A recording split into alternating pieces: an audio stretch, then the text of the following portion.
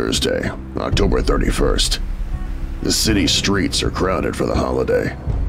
Even with the rain hidden in the chaos is the element, waiting to strike like snakes. And I'm there too, watching. Two years of nights have turned me into a nocturnal animal.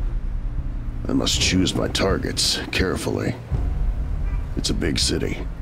I can't be everywhere. They don't know where I am. We have a signal, now, for when I'm needed. But when that light hits the sky, it's not just a call. It's a warning to them.